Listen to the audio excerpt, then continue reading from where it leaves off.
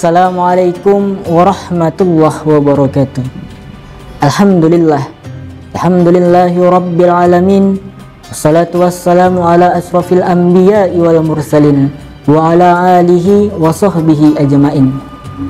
Asyadu an la ilaha illallah wahdahu la syarikalah Wa asyadu anna muhammadan abduhu wa rasuluh Allazi la nabiyya ba' Segala puji bagi Allah subhanahu wa ta'ala Yang mana Allah Subhanahu wa taala telah memberikan kita banyak sekali nikmat.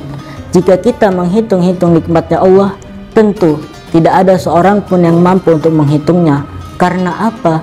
Wa in ta'uddu ni'matallahi la tuksuha. Dan jika kamu hitung-hitung nikmat Allah, niscaya kamu tidak akan mampu menentukan jumlahnya. Maka dari itu, janganlah kita ingkar dan kupur atas nikmat yang telah diberikan Allah.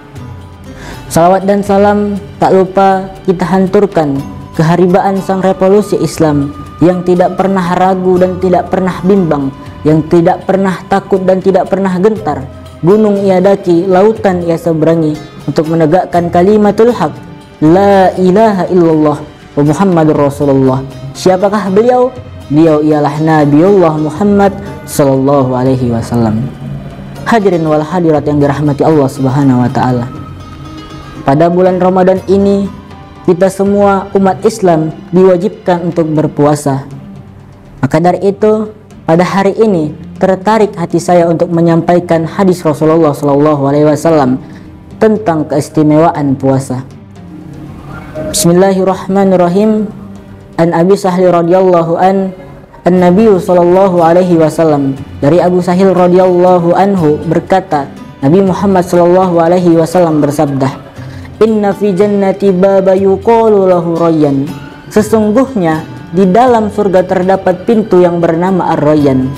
Yadkhulu minhu shaimun yaumal qiyamah. Dan para shaimun, orang-orang yang berpuasa akan masuk ke dalam pintu tersebut di hari kiamat nanti. La yadkhulu minhu ahadun ghairuhum yuqalu aina shaimun fayakumu.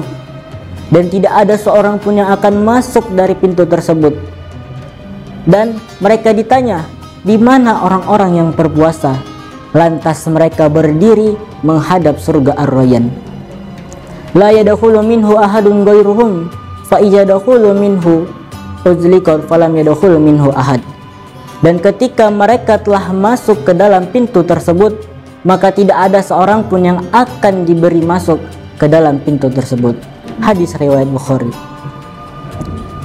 Jadi teman-teman, pada hadis ini, Rasulullah Shallallahu Alaihi Wasallam memberikan gambaran tentang keistimewaan orang-orang yang berpuasa.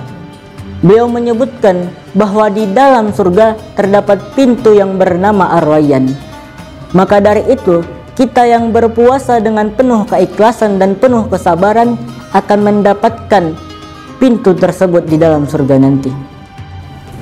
Pesan yang bisa kita ambil dari hadis ini ialah pentingnya berpuasa dengan penuh keikhlasan dan penuh kesabaran dikarenakan Allah Subhanahu wa taala telah memberikan ganjaran yang luar biasa sangatlah besar bagi orang-orang yang berpuasa. Maka dari itu teman-teman, mari kita jadikan hadis ini sebagai motivasi kita dalam berpuasa. Kita tingkatkan iman dan takwa kita kepada Allah Subhanahu wa taala. Mungkin ini sajalah yang dapat saya sampaikan. Kurang dan lebih saya mohon maaf dan kepada Allah saya mohon ampun. Wabillahi taufik wal hidayah. Ila liqa' Assalamualaikum warahmatullahi wabarakatuh.